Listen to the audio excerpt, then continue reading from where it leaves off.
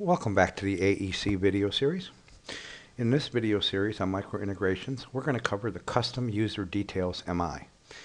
In some installations, you may want to collect additional information at the on the confirmation page when the user is checking out for the subscription. This microintegration allows that to be done.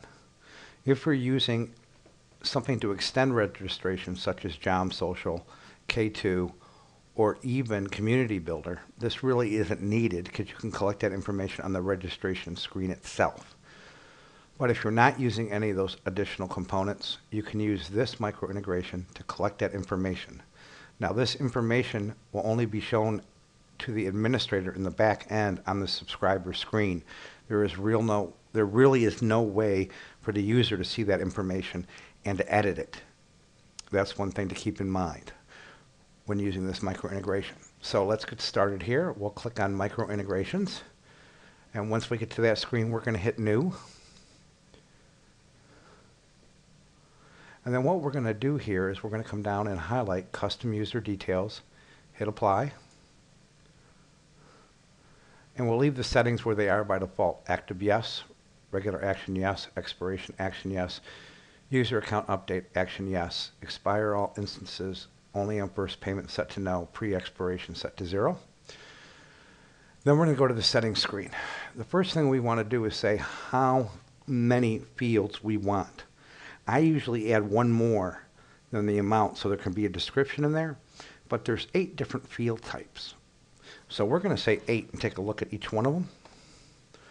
And then we're going to hit apply. And then if you notice, we'll come back to the settings screen. And now we have eight different areas to come in.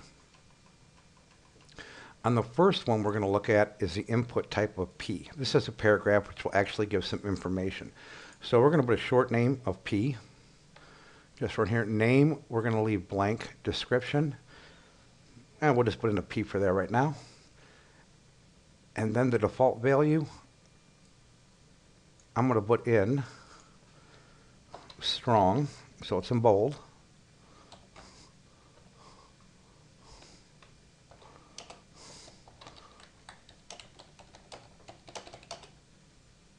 Please fill out the fields below. Then I'm going to end my strong so that just this is in bold. And then the next parts we're actually going to use each individual one to take a look. The first one will be input A, so we'll give it a short name, input A. This is actually the name that you refer to it by. No spaces or funny characters. And then you have a switch here whether it is mandatory or not mandatory. Right now we'll just leave them not mandatory. And then we're going to put the same thing in here. Control C, name, input A, description, input A. We can give it whatever we want. And then the type is input A, the default. Now input A is five characters is what they're allowed to input. For the short name here on the next one, we're going to do input B. Make it input B type. We'll just copy this over. Input B is a 10 character area for them to enter in information. The next one is input C that we'll actually use. And we'll highlight input C for the type.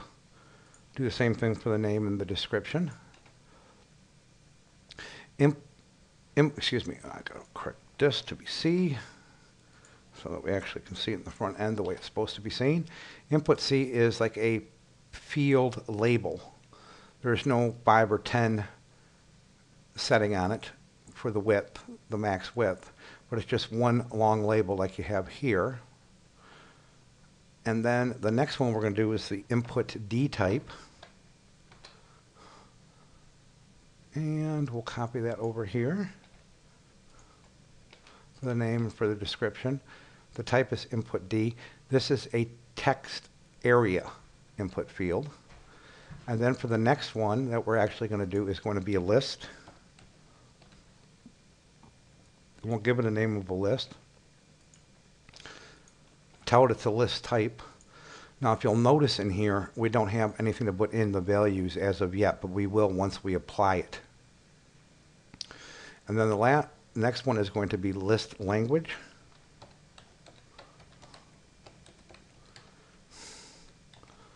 And we'll do the same for the name and the description. This is going to give a language list that's already built into AEC. And then the last one is going to be a checkbox.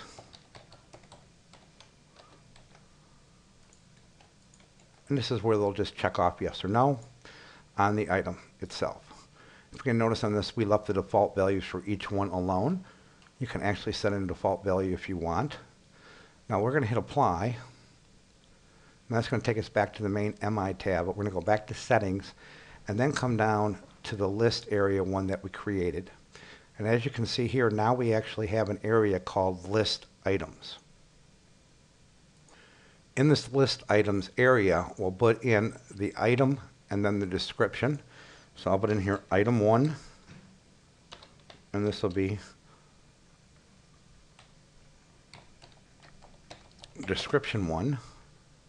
We'll put in item two, then we put in the bar.